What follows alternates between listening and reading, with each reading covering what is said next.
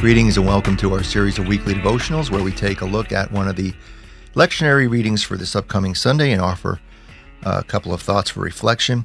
This week we're looking at a passage in uh, the letter to the Hebrews, chapters 11 and 12, uh, dealing with faith. And I remember a conversation I had with my daughter Julia just a couple of weeks ago.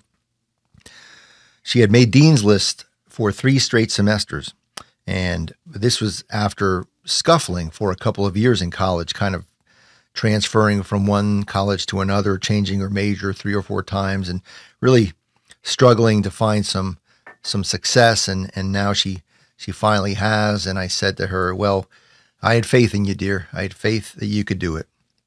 And uh, I've I've had several conversations with church folk uh, or just people in my life where I've said something similar, like if they were uh, hoping for or waiting for some kind of positive outcome, some success, I would say, well, have faith.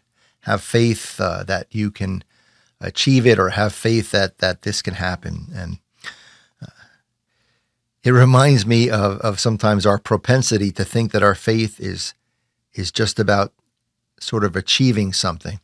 And uh, I'm reminded of televangelists who sort of promote this prosperity theology that if you just have enough faith, well, God will give you just about anything you want. And of course, I don't really think that's what faith is all about. But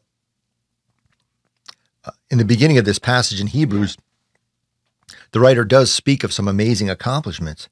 Uh, folks who, who through faith conquered kingdoms, administered justice, obtained promises, shut the mouths of lions, quenched Raging fire escaped the edge of the sword, Won strength out of weakness, became mighty in war, put foreign armies to flight.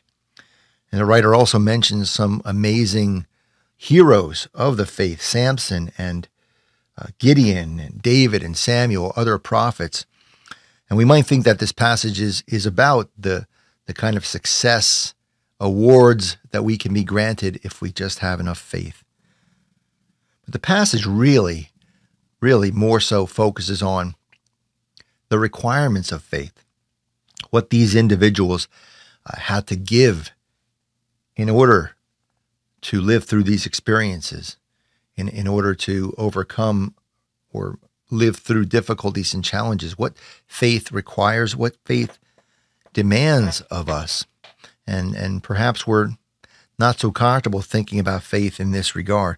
But I think of a workshop we went to from our church several years ago where the presenter asked us if in our church we mostly thought of ourselves as guests or hosts, because guests focus just on what they receive, while hosts focus on what they can give to others.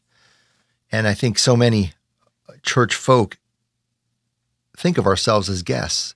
What the church, what God, what our faith can give to us instead of what the church, God, our faith uh, can get from us, what we can give.